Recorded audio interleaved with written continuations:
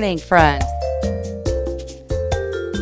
What if I were to leave and go away and you were to follow me?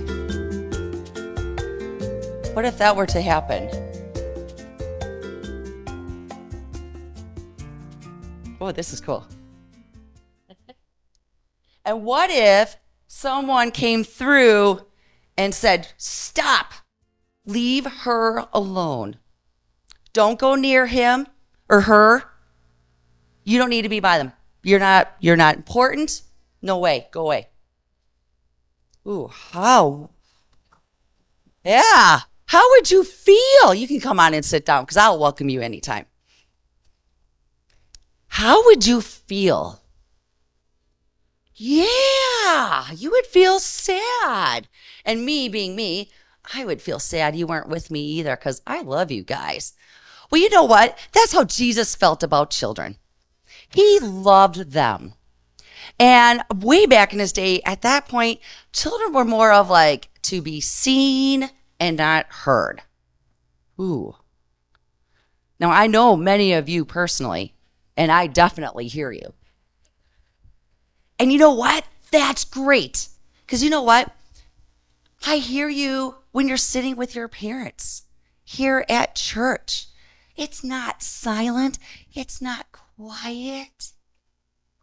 Sometimes it is because I know you're listening really, really well. But I hear that extra noise. I just heard a little person talking back there. Our church is growing.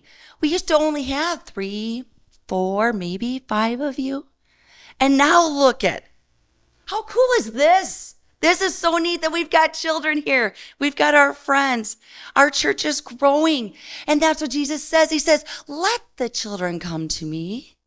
Do not hinder them. That means do not tell them to stay away. Do not forget about them. And accept faith from Jesus like a child. As I bet all of you have someone that brought you to church today. Or did you drive yourself? Oh, you drove yourself? Wow.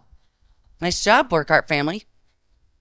All right. So, anyway, but I bet someone drove you here because that person, that adult in your life, cares about you and cares that you learn about Jesus.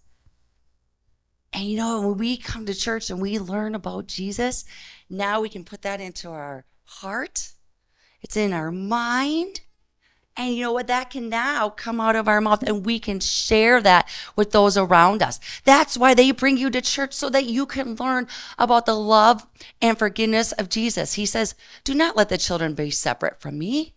Bring them, bring them and accept faith like a child.